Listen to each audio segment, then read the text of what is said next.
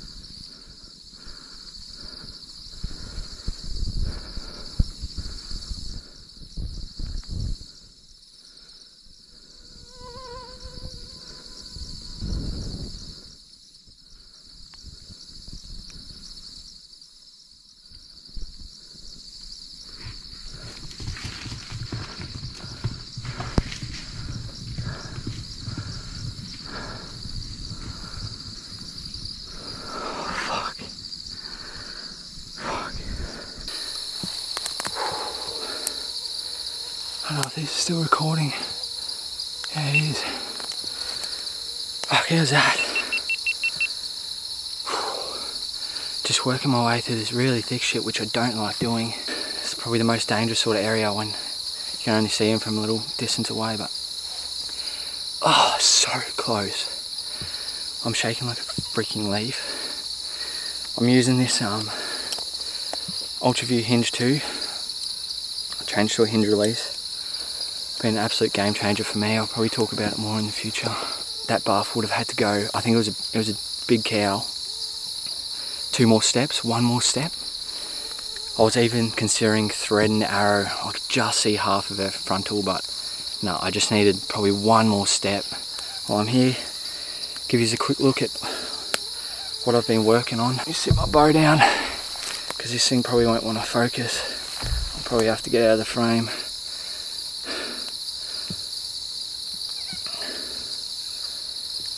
But these broadheads all I've gone and done is pretty much made exactly the sort of broadhead that I want.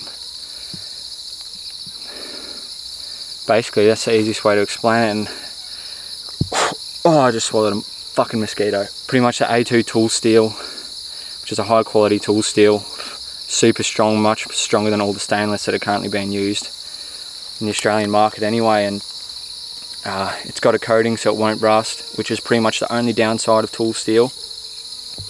But I've tested the hell out of this coating, super durable. The heads are super tough. 28 degree single bevel. Stout but sharp tip, which is, the tip is something that bothers me with a lot of heads. They're either too pointy and they roll, or they're too stout and I just don't like them. You can't even spin half of them on a on a bench top or anything. Like they don't actually have a point. These have a point. Um, yeah, I've made it in a few weights. These are 175 grain, which I was shooting last year. Um, but I'll probably move up to the 200s soon. But yeah, I won't reveal too much more info than that.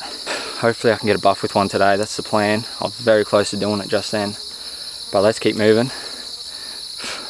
See if we can get one on the ground.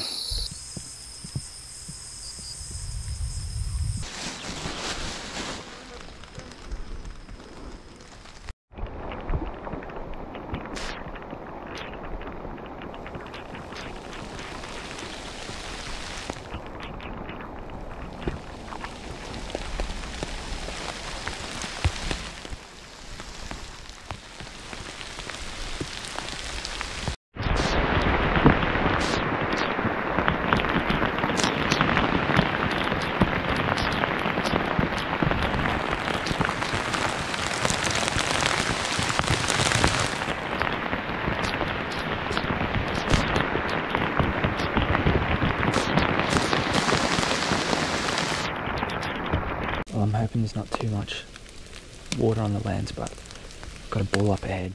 I don't want to pull the big camera out because the pouring rain on and off, it's just slowed down for a minute, but I've got a bull probably 200 yards up ahead. But he's not doing anything, he's just standing there and he's just watching like they do.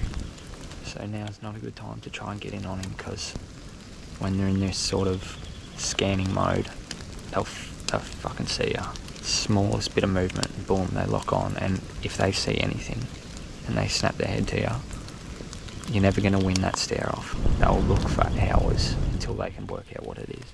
So I'm just waiting to see. Hopefully he starts feeding and I might be able to try and get in on him.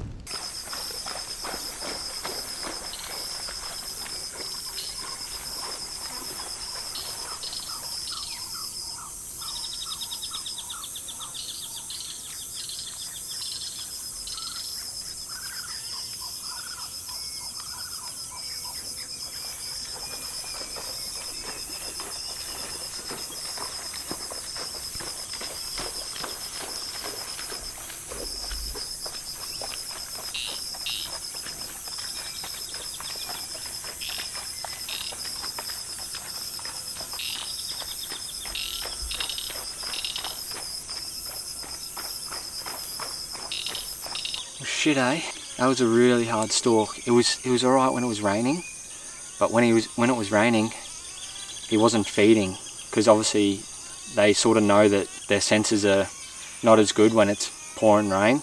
So he just had his head up the whole time, just just scanning, and then once it stopped raining, he started feeding. But man, it just went dead, like not a breath of wind, absolutely silent, and made it pretty hard to stalk in. I was getting there though, and then my scent must have just drifted far enough down to where he, he caught it down there. Bit of a bugger. It was, it was looking promising there. It's just the way it goes. Everything seems to be working against you. Guys, I got 8 to 10 buff up ahead. There's no good ones, they'll, they'll look reasonably young. No bulls at all, I don't think. If I try and keep walking, probably going to see me. So I may as well just try and put a stalk on them. See what we can do.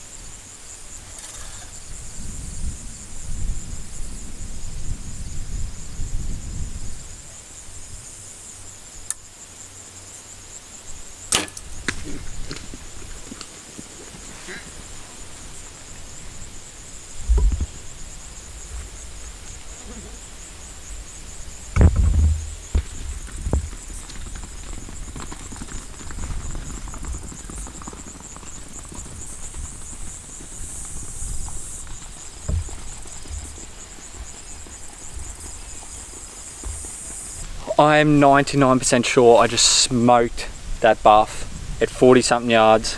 Oh my god, that felt good.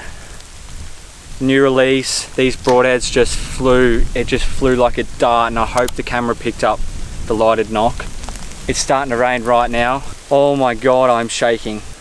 That stalk was, oh, they all seem to be crazy, but fucking hell. Just goes from zero to 100 sometimes. Like, I couldn't really do too much for a while because they weren't really feeding or anything. They were sort of just on the lookout again. And then all of a sudden they just started feeding real quick. So I had to I had to make a pretty kind of a risky move, but it was it was kind of a do or die situation. Otherwise they were going to get past me and they were going to win me. So I got in with the camera all set up and closed the gap last second.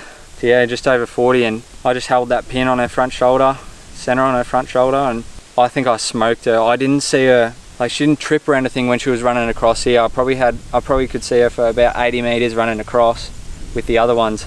Mind you, I cannot see past these trees. I, I quickly left the camera here and I, I walked maybe 30 or 40 meters up there to try and glance to the trees, but I couldn't see them. Go see if we can find this arrow. Actually, I'll go get my pack, try and find the arrow. And then I'm, I'm thinking she didn't go far, not with that shot. That's my go-to shot. Not far back, not like a deer where you might put it on the on the crease on the back of the shoulder. You have to shoot them more forward than that. Buffalo's intestines really push all their vital organs right up hard. Their lungs don't go back as far as deer and other things. A lot of people make the mistake. I have when I very first started hunting buff. But you learn very quickly with that crease shot, yeah, it's not what you want. And I do see big hunting channels in Australia posting shot placement shit, telling people essentially to put the shot back there at the crease. It's fucking bullshit. I can tell whoever made those posts don't come out and hunt buffalo. Anyway, let's go and uh, see if we can find her. Here's the shaft, broken off as always with buffalo hunting. Their skin is just so thick and tough that when they run, there's just no way that arrow is not going to break. Like this is just carbon and the amount of power that those animals have. Yeah, there's no way it's not going to break. But, oh well, looks like we got some good penetration. The blood comes right down the shaft here. There's quite a lot, but regardless, we've still got good penetration. I'm, I'm pretty confident. I watched the footage back. I'm confident I smoked that, that buffalo. I don't think it'll take us too long to find her. They went that direction, so we're going to head over there. These are some new shafts that I've been testing out. I'm super happy with them. I've done crazy amount of testing at home before I brought them out hunting obviously. I dare say they're probably the favorite, my favorite shafts. I'll talk about these some more in a minute after we find this buff because it looks like it's going to piss down in a, not long. So let's go. Guys, I reckon I can see her right here.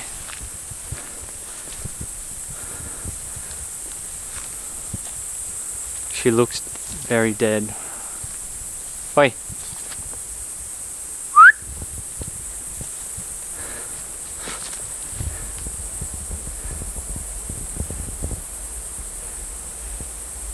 I don't know if you can see that. This camera's fucking heavy. In the water there, of course, of all places. I didn't even look for blood. I wanted to quickly see if I could find her before this rain, literally as I'm talking right now. Starting to piss down. Found her just in time. Didn't take long, I'd say she went, I'd say she went between 100 and 150 meters in total, just not that far past the trees where we last saw her.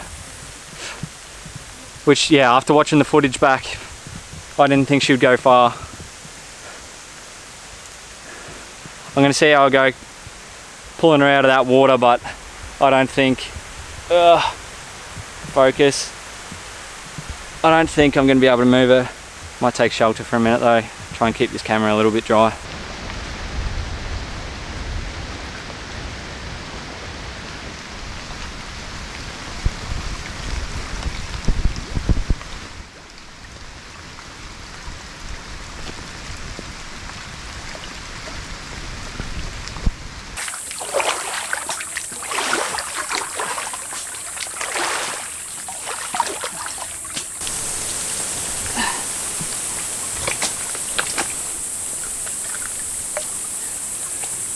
Oh!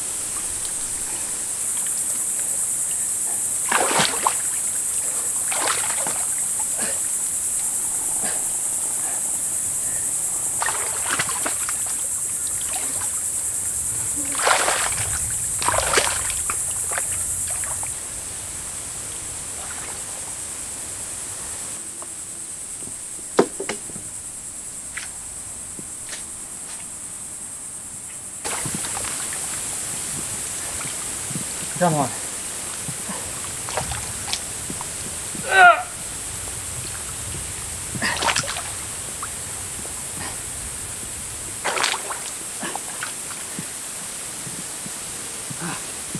I don't know.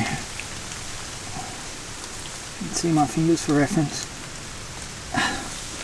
Fingers are a bit closer to the camera than the spider, but pretty big.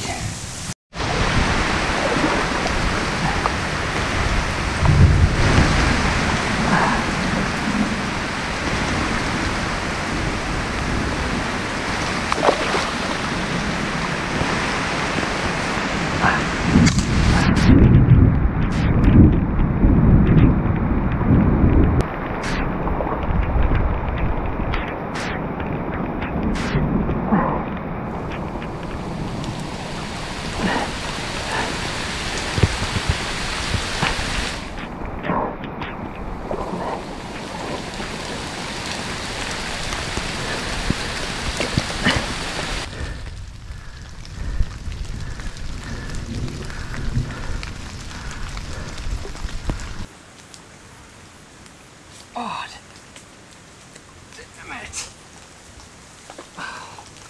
Fuck, get out of the water.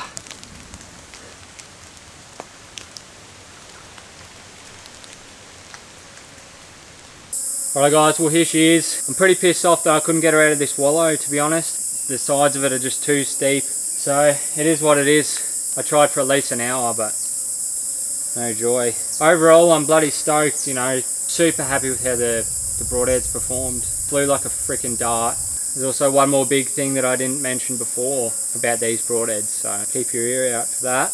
I'll run through my bow setup. I've had a lot of people ask me, you know, what I'm running to hunt buffalo and all that, so I'm shooting a Mathews V3 31 at 70 pounds and 29 and a half inch draw length. The arrow setup I'm running, I've been using these Nappy Time 5mm shafts and I'm, I'm really liking these. Before this I was using the Victory Rip shafts, but these for me, they fly a lot better. Yeah, they come in at about 10 grains per inch and I think they're cut to 27 or maybe 27 and a half inches. Uh, I've just got AE Max Stealths on the back with a wrap and a Nockturnal. On the front, I've got the new broadheads, 175 grain. The insert and sleeve system on these shafts I really like. There's a 50 or 60 grain adjustable insert and then stainless insert as well. And then these sleeves, which are 20 grains I believe, they go over and they just they make it rock solid. And I've been shooting these broadheads at some real hard shit. Both the broadheads and the, the arrows have performed very well. Um, what else have I got? I've got a QuiverLizer, obviously. Um, I'm running a Spot Hogg Fast Eddy XL with the double pin. Uh, I just got a rear sta stabilizer, uh, just with a little bit of weight there, and a Hamskea rest. Uh, that's about it. I've got big fella bowstrings on. I'll be interested to see how long I can keep them nice and clean for, but probably won't be long. And yeah, that's about it. I'm running a, a nose button as well, which I really like. Yeah, I'm pretty knackered after trying to move this big girl, so I'm going to get to work now. I'm, I'm only going to take the back straps because honestly, it's going to be so hard to get the meat off her in this water. And this this wallowing water, you do not want it. I mean, I don't know. I'm I don't know for sure, but in my mind, I do not want this water to touch the meat because the buffalo get in these wallows and they pierce and shit, and yeah, it's it's no good. So it's unfortunate. Like I said, I'm pretty pissed off I couldn't get her out, and it's frustrating. You know, there's grass all around us, and she just happened to die right in this little wallow. So ah, what do you do? All right, I'm gonna get to work. Hi guys, I just tried to getting that freaking broadhead out. I sliced my finger open I found the broadhead in there in the opposite side shoulder. Fuck, it's in there that hard. I tried to get me um, Leathermans in there to take it out, but I couldn't. So it's a bit of a shame. I'm not going to be able to get it out and have a look, but yeah, I think I've stuffed around enough. Got the back straps. Couldn't get the fucking broadhead, but time to go home. Slide with me if you feel like 550 on the five sticky, come get high with me, that's a deal, right? Ride with me